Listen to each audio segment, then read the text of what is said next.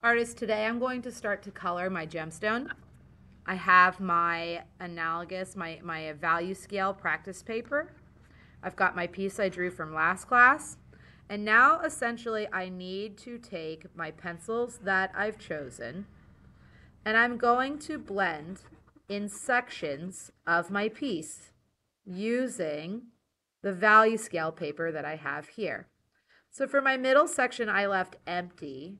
I didn't break it into triangles. So I'm shading almost on a curve here, going dark, medium, light. And then I can even use another darker version of a green, or perhaps even a black, to go over top, dark, medium, light to white. The key is in each section that you are shading, whatever you drew with your triangles or the middle, is that you are changing your use of pressure. This will look three-dimensional and if it has those cuts by if you are using that value scale. So in a triangle space, I'll take my true green, I'll outline an edge, and then I need to pick somewhere to start. Doesn't matter if I'm going in the middle or one of the sides. But let's say I go from one of the points. I'm pressing hard, dark, medium, light to white. And letting it be the highlight of the paper. Or maybe I'm actually going to use some white then coming, just like I did here, from the opposite end. White, medium, light. Check that out.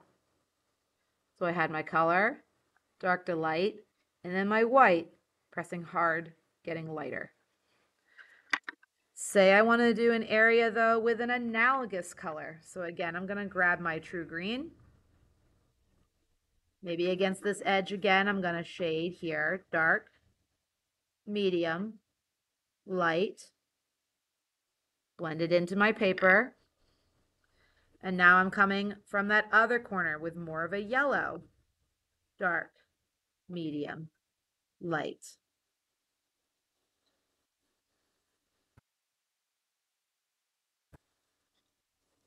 I can even use a white to pick up highlight in there as well. You can use three colors in one space.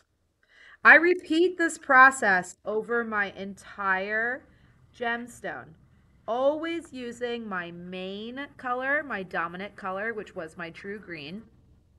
And then I'm either adding an analogous color, a same color, this time just a green, only a dark green, or I'm working in with a white. I haven't used any black yet because black is a color that I always use sparingly for an area that I want with shadow. So if I do want to use a little bit of black, I just do the tiniest touches to create a shadowed piece. Too much and what you're going to do is you're going to turn your artwork gray.